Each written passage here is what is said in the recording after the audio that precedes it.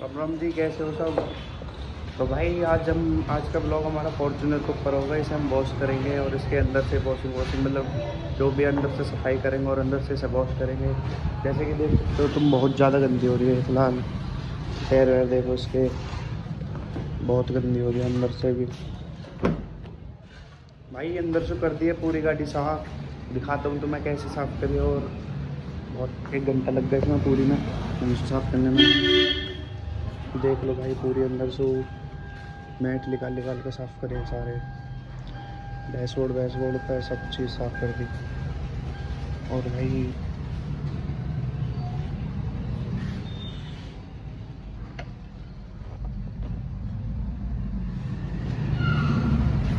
बाकी चलो भाई, हम चलते हैं स्कूल पर वहाँ चल के सब बाहर से साफ़ करेंगे पूरी। है ठीक है भाई, चलो वहाँ चलते हैं। भाई वो गाड़ी फ़िलहाल पापा लेके जा रहे हैं। जलालपुर तक धोंगे से बाद में बाहर निकाल कर दिए दें भगवान कह रहे हैं।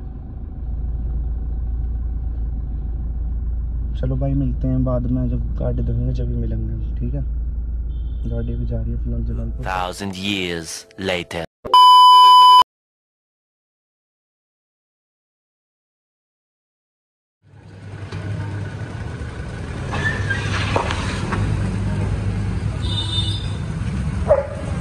भाई गाड़ी लेके जा रहे हैं सर्विस पे और बाकी दिखाते तुम्हें इसका क्या क्या प्रोसेस होगा। वहाँ पे दिखाएँगे सर्विस वर्विस की जो भी अगर वहाँ रुके तो ऐसा मैं मुश्किल ही रखूँगा। गाड़ी भैया लेके आएगा, जो भी है। और कंपनी में भाई मुश्किल ही शूट करूँगा क्योंकि वहाँ पर पब्लिक रहा है। पहली बार मैं समझ रहे हो शर्म आ गया थोड़ी। ठीक है भाई तो बाकी सर्विस वर्विस पर लेके चलते हैं गाड़ियाँ तो भाई ये फॉर्चूनर आ चुकी है अपनी सर्विस तो धोने का सिस्टम ही ख़त्म कर दिया। सर्विस ही करवा लिया डायरेक्ट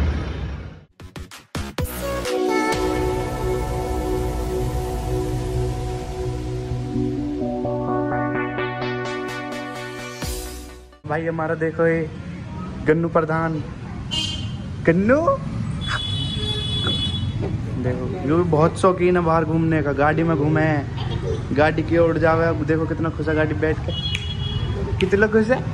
हप हप। चलो भाई, करते हैं ब्लॉग पे एंड गन्नू किसी करता तो चलो भाई ये ब्लॉग को करते हैं पे एंड बाकी तुम लाइक सब्सक्राइब शेयर ज़रूर करना।